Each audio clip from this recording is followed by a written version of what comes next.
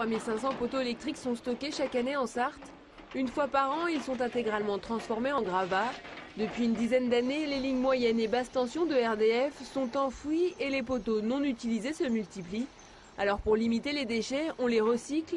Chaque matériau est ainsi réutilisé individuellement.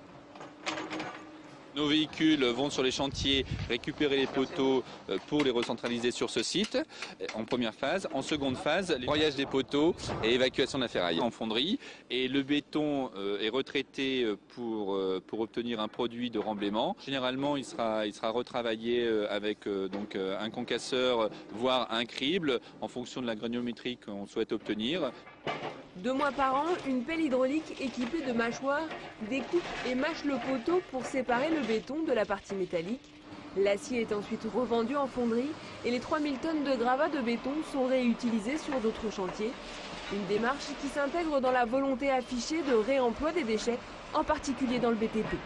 On est en plein dans le Grenelle et dans, la valorisation des déchets. Je crois qu'on euh, se doit d'être exemplaire et au niveau national, eh c'est montrer aussi qu'un exemple très concret peut être opérationnel et en tout cas permettre aussi une, économie circulaire puisque après l'acier reste en Sarthe et le béton qui est concassé ben, sert comme remblai.